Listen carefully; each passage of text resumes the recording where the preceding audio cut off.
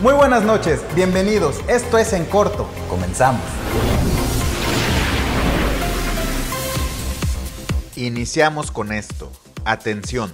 Solo en los municipios con semáforo verde y amarillo se podrá regresar a clases presenciales el próximo 30 de agosto, reiteró el gobernador de Tamaulipas, Francisco García Cabeza de Vaca, quien señaló que existe preocupación por la variante Delta, que está afectando a niños y jóvenes. Con mucha prudencia y con mucha objetividad. Empezamos con, eh, precisamente el lunes vamos a, hacer una evaluación. No quisiera yo adelantarme a dar a conocer la evaluación. Eh, lo que les puedo yo anticipar es que de entrada lo que sí es las eh, ciudades que estén en verde, en amarillo, vamos a darle. Las otras vamos a analizar.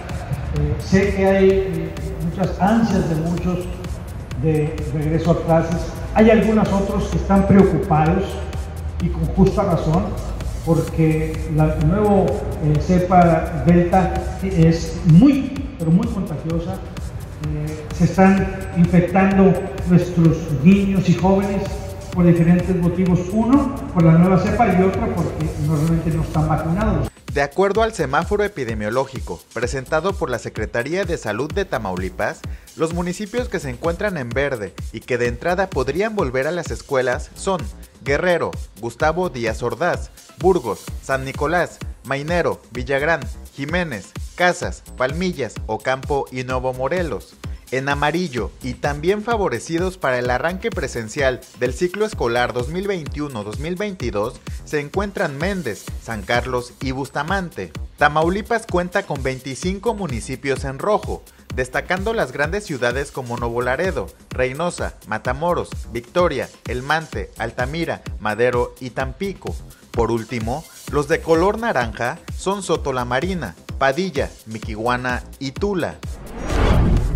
El presidente de México, Andrés Manuel López Obrador, aseguró que el gobierno federal tiene la obligación de iniciar con las clases presenciales a finales de agosto, pese a que el país se encuentra en récords de contagios por COVID-19. El Comité Estatal de Seguridad en Salud evalúa las acciones que se deberán tomar los próximos 15 días, luego del incremento de casos positivos de COVID-19 en Tamaulipas, aunque se buscará evitar los cierres de negocios, informó el secretario de Desarrollo Económico, Carlos García González. En reunión plenaria, los diputados locales electos de Morena se pronunciaron a favor de gobernar Tamaulipas desde el Congreso bajo tres ejes rectores. Estos son el combate a la corrupción, austeridad y la aplicación de los programas federales. Prepárese para encender los aparatos de aire acondicionado y los abanicos, porque una onda de calor estará afectando la mayor parte del territorio estatal durante los próximos tres días, con temperaturas que podrían ubicarse entre los 37 a los 40 grados centígrados. El Servicio Meteorológico Nacional informó que en su pronóstico a largo plazo se mantendrá un ambiente muy caluroso en la mayor parte de Tamaulipas, por lo que la ausencia de lluvias provocará un incremento importante en las temperaturas. La diócesis de Tampico informó que el obispo José Armando Álvarez Cano fue hospitalizado de emergencia. Lo reportaron como estable de un problema intestinal que se le presentó. Hasta con máscaras de marcianos, disfrazados de dinosaurios, o como Jason en pleno viernes 13, es como las personas de 30 a 39 años de edad se han vacunado contra el COVID-19 en Ciudad Madero. ¿Qué tal? Esta es la imagen del día.